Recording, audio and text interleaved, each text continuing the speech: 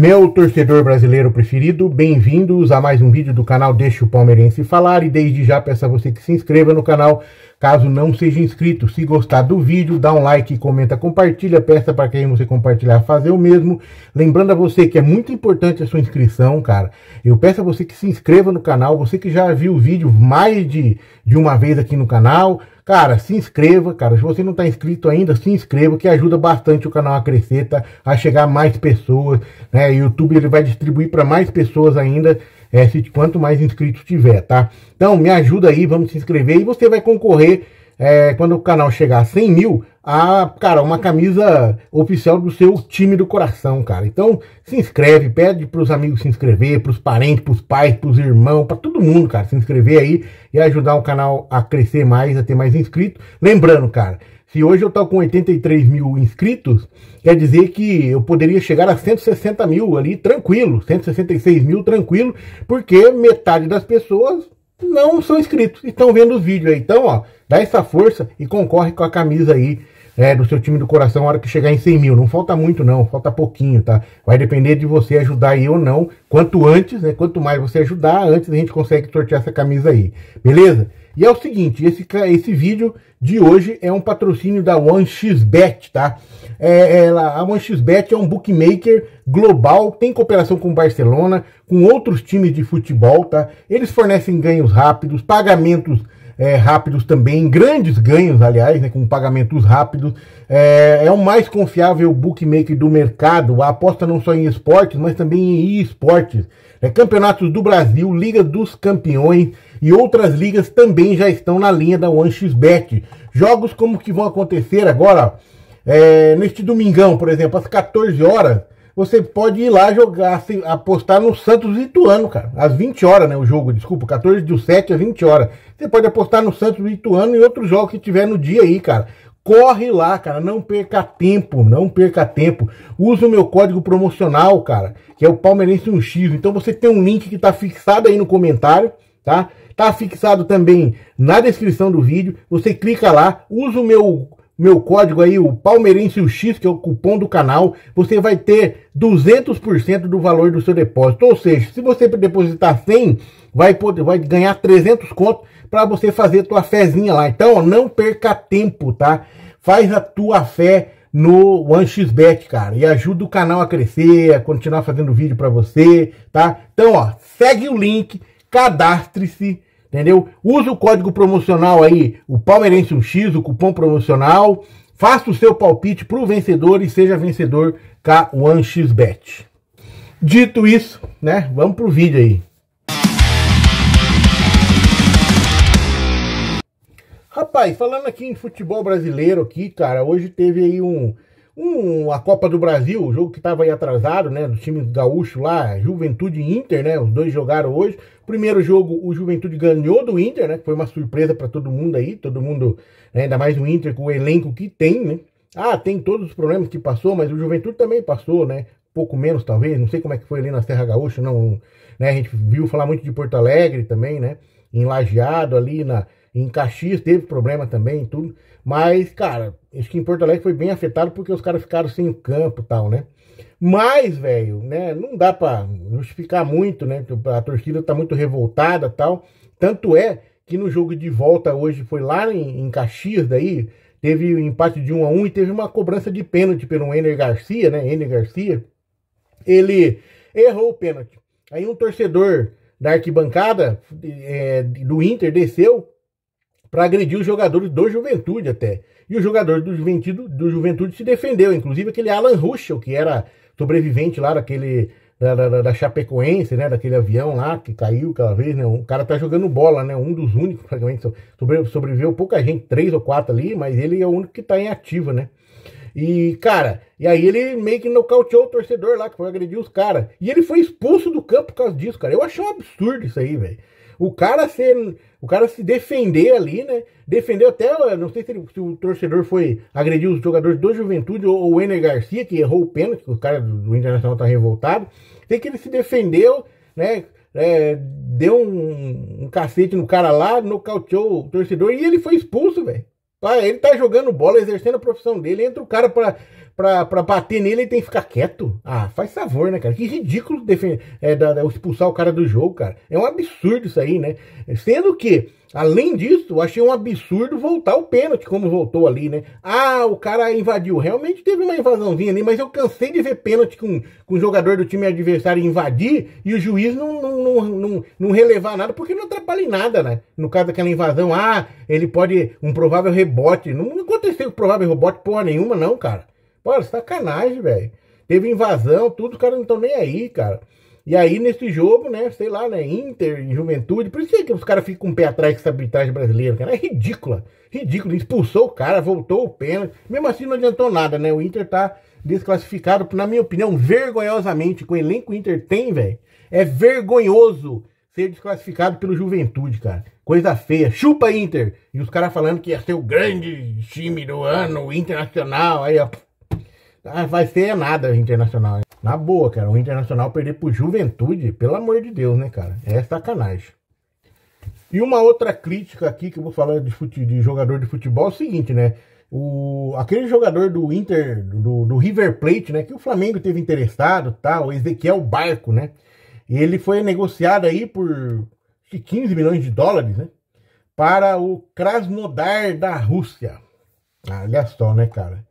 É foda, né, velho? E ele, em vez de vir pro Brasil, né? Jogar algum time daqui, ou de repente até pra Europa, acho que a Europa ninguém tava interessado nele, né? A não ser a Rússia, né? No caso, a Rússia também é na Europa, mas pega a Europa e a Ásia ali. Mas a gente já entendeu, né? Time de ponta da Europa, ninguém quis o cara. Poderia ter vindo jogar aqui no, no Brasil. Não, foi pro time da Rússia que praticamente arrebenta com o cara, né, cara? 87 milhões de reais, ele foi vendido lá. Né? É, era um cara que o Flamengo andou sondando aí, mas o River Plate acabou negociando com o time da Rússia, que vamos falar bem verdade, né? 16 milhões de dólares. Mesmo valor do, do Dela Cruz, né, cara? É assim, velho. Esses caras, velho, assim, é só dinheiro mesmo, né? Que, pra ir pra, pra Rússia. Hoje é só grana que, que incentiva o cara. Porque não tem, cara cara vai morrer profissionalmente, praticamente, né, cara? A não ser se algum outro time da própria Argentina ou até do Brasil for lá e resgata o cara, velho. Porque o cara tá lá naquele time lá, os caras não fazem negócio. Até porque tem, por causa dessa, desse conflito aí, eu acho que os times da Europa ali não podem é, se relacionar com o time russo e vice-versa. Uma coisa assim, cara. Então, assim, que besteira fez esse moleque, hein? Podia vir pra um, pra um time do Brasil aí, brilhar aqui no Brasil, já que tá saindo do River Plate, né? Brilhar aqui no Brasil né? Esportivamente ganhar um monte, mas não, preferiu a grana e vai lá para a Rússia, né? Vai sumir lá, praticamente. É a minha crítica, né? Não sei se eu tô certo, errado, coloca no comentário aí. E hoje saiu aí uma reportagem no msn.com sobre aquele pênalti, né, do, em cima do Pedro é, contra o Fortaleza, todo mundo descendo a lenha tal. Os caras ficam mastigando aquilo, né, cara? E não engole de uma vez, o jogo já passou. Né? O Fortaleza vamos supor que tenha sido tenha sido realmente um erro da arbitragem, né? Que na minha opinião eu já vou expressar aqui para você. Mas vamos lá. Cara, 2x1 um Fortaleza, Fortaleza ganhou o jogo, acabou. Tem que se preocupar pra frente, assim, concordo também com isso, né? Mas, velho, ficar mastigando isso, e na minha opinião, teve um deslocamento do Pedro ali, cara. Não é possível, cara, o Pedro vai chutar uma bola daquela, né? Porque as imagens, se olhar bem, não é muito claro, né? Mas tem um ângulo aqui da imagem que mostra que o pé do, do do jogador do, do, do, Fortaleza, meio que quase calçando o calcanhar do Pedro, de apoio, né? E ele se perdeu o equilíbrio, que foi muito forte, né? Não foi a coisa forçada, foi muito forte. Né? E não tinha por que ele fazer aquilo, né? Fingir cair daquele jeito, ou sei lá. Ah, ele errou a bola, furou e caiu. Cara, muito louco isso aí, velho. Ó, só pra você ter uma ideia, ó. Na, na reportagem fala assim, na MSN, ó. No lance, o atacante Pedro tenta chutar a bola e cai no gramado. Edna Alves enxergou um toque no adversário por trás e marcou a penalidade em campo. O VAR analisou a jogada e concordou né, com a decisão da árbitra. Apesar do pênalti convencido, convertido, o Flamengo perdeu por 2 a 1 né? Então, cara, ficam mastigando esse negócio. Já foi, velho. É aquele negócio, quando é, é, contra você, você vai lá ficar xingando tudo. Quando é favor, todo mundo fica quietinho, né, cara? Esse que é o foda. Mas tá, eu tô olhando as imagens aqui, eu acho que foi pênalti, tá? Tem, tem sido pênalti. Embora, assim, só que uma crítica minha, assim, vamos falar a verdade, né? Vocês lembram do Tiratema na Rede Globo, cara? Lá, sei lá, 30, 40 anos atrás, velho, era muito mais preciso que esses, essas imagens do VAR aí, velho. Vamos falar bem verdade, né? Que vergonha isso aí. Você acha que não tem tecnologia pra pegar certinho, cara? Eu acho que tem os caras não estão utilizando, tá? Na boa. E fica aí, fica essa polêmica toda, parece que o cara adora isso aí, né? Aquele negócio também da, da Ibope, né, velho? Uma polêmica, conversação, falação, briga tal. Fazer o quê? Complicado, né? Mas, né, é, pela essa nova, novo ângulo que o cara mostrou aqui, né, no, no, no MSN, a impressão que dá que realmente houve um toque no Pedro, mas vamos falar a verdade, naquele pulo que ele deu lá, não é possível não ter tocado, velho. De boa, cara. De boa. Mas aí também, aí também tem o lance do, do, do Wesley, né, cara? O cara dá uma empurradinha no Wesley. Você, você tá no, no ar, cara. Qualquer coisa te desloca, cara. E aí tem que ser pênalti. Ah, empurrou um pouquinho. Só deu, é, foi fraco. Cara, mas meu Deus do céu, cara. Olha a empurrada que o cara deu lá, velho. Pelo amor de Deus. Você tá no ar, você não, você, não, você não joga bola, você nunca viu. Você tá correndo, o cara te dá um, um toquinho, você desaba, cara. Ó, é um crime isso aí, velho. Mas não, né? Os caras preferem falar que, ai, não, não teve intensidade. Pelo amor de Deus, que absurdo. E aí o do Pedro, ah, que o cara quase correu, caiu lá, né? Rolou com tudo lá. Fala que não foi. Sei lá, dá pra entender nada, não. Vamos lá.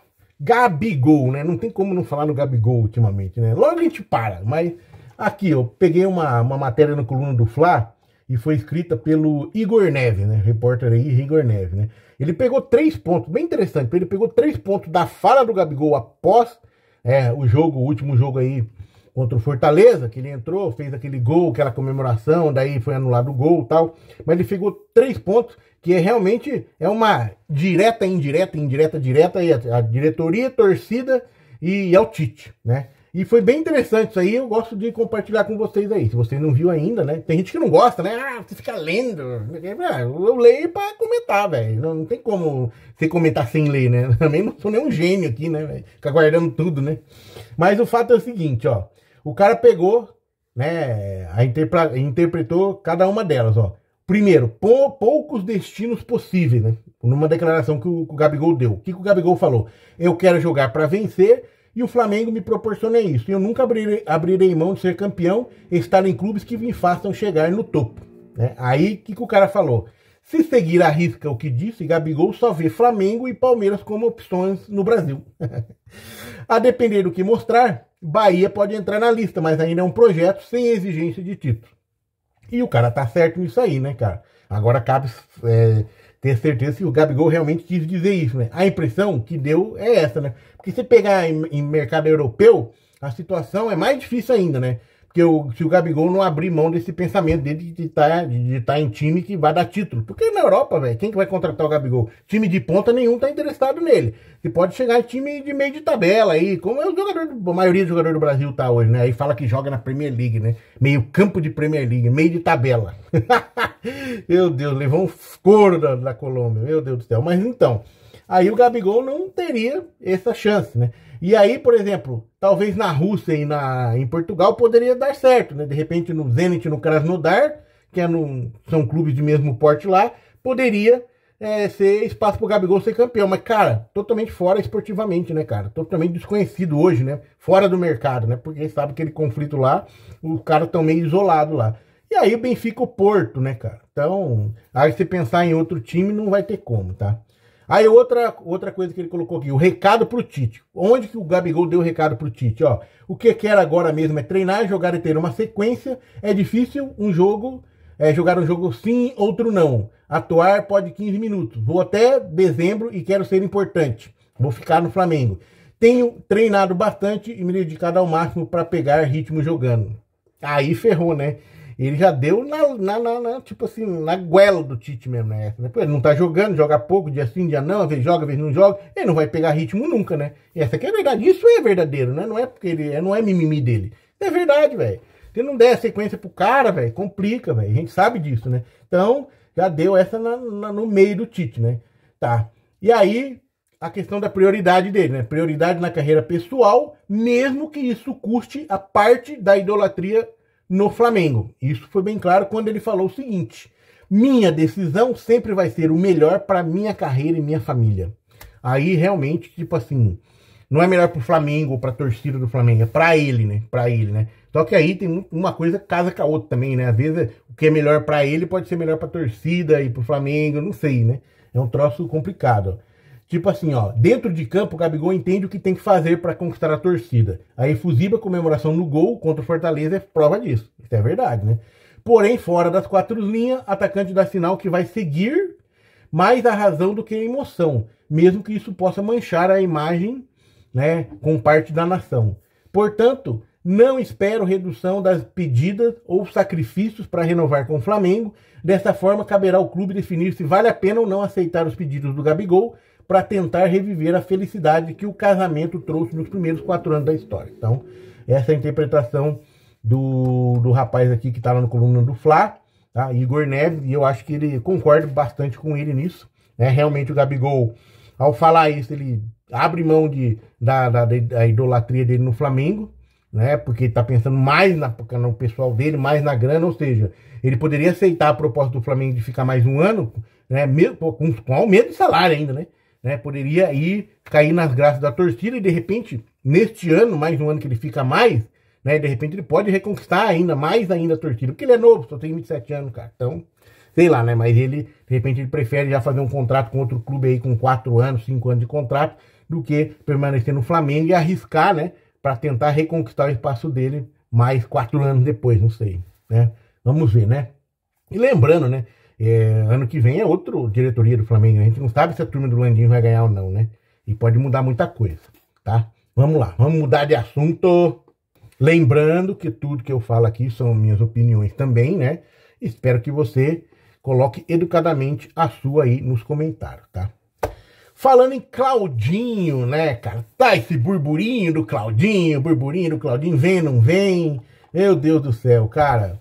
Então é o seguinte, o Claudinho foi campeão lá no Krasnodar da Supercopa da Rússia, né? O time ganhou por 4 a 2 né? As reportagens da internet toda falando isso em vários sites aí. Eu tô pegando aqui do Terra. Se você ler a reportagem do Terra, do Walter, é a mesma reportagem. Eu falo a mesma coisa, engraçado isso aí, né? E diz que o, após o título, o Claudinho despista sobre negociação com o Flamengo. Mas isso tá, não tem nem que falar, né? Isso é coisa séria, a gente já sabe o que está acontecendo, não tem como negar, né? O fato é que quando ele foi, ele no, aos 17 minutos do segundo tempo do, do jogo lá da, da Supercopa da Rússia, ele foi sacado pelo técnico. E ele saiu demonstrando irritação ao ser tirado do jogo e nem cumprimentou o técnico. Ou seja, tem coisa aí, né? De repente, o Zenit acabou aceitando essa grana aí do, do, do, Flamengo, né? Ah, vamos, porque a coisa não deve estar muito boa entre ele e o técnico. E outra, né? É, o, o Zenit contratou outro jogador lá, na, da Rússia mesmo, na mesma posição que o Claudinho, russo. Então, quer dizer, tem tudo mostrando que o Zenit realmente, o Claudinho realmente vai sair, né? Até então a gente tem as notícias que a staff do Claudinho está aí no Rio, está preparando aí nas redes sociais todo um anúncio do Flamengo e tal. Então, tipo assim, né? Só que o Claudinho, quando perguntaram para ele é, sobre o Flamengo, ele, ah, sempre tem essa pergunta. Eu falei, mano, pra que isso, cara? Tá irritado por quê, velho? Sempre vai ter essa pergunta enquanto você não for no Flamengo, enquanto você não for anunciado, cara. É normal, cara. Todo mundo tá ansioso. Os flamenguistas estão ansiosos, a imprensa tá ansiosa. O Brasil tá ansioso, todo mundo quer saber se é verdade ou não, se vem, se não vem, quando que, que, que falta para finalizar. A gente sabe que vai vir, né? Porque tá muito muito claro isso, né? Não tem muito mais o que fazer, né? Então aqui no, no próprio Terra, né, fala sobre isso, né, cara? Ó, na zona mista, os jornalistas questionaram o brasileiro sobre sua possível permanência no Zenit. Ele, portanto, respondeu ao brasileiro Fábio Aleixo com um sorriso e preferiu fugir do questionamento. Sempre tem essa pergunta. A equipe volta a campo no próximo dia 20 contra o Krylia Sovetov né, que é o que vai jogar pelo Campeonato Russo, mas esse jogo aí da final da Supercopa da Rússia pode ter sido o último do Claudinho, né? Pelo menos é o que demonstra aí, tá? Então, ele está próximo aí de ser anunciado no Flamengo, né? E tem que entender, que não adianta ficar irritado, né? Pelo que a, a, a informação traz aqui, é que o, o clube russo contratou no fim de junho, como eu já tinha falado, meia de 24 anos da seleção da Rússia, o Maxim Glushenkov, que estava no Lokomotiv, ou seja, na mesma posição do Claudinho. Então, tem tudo, tudo tá dizendo aí, tudo mostrando que o Claudinho vai ser anunciado ao Flamengo, acho que nesta próxima semana agora. Então vamos aguardar. Beleza? No mais, tudo tranquilo. Espero que tenham gostado e vamos que vamos. Se inscreve no canal, hein? Se inscreve. Até mais.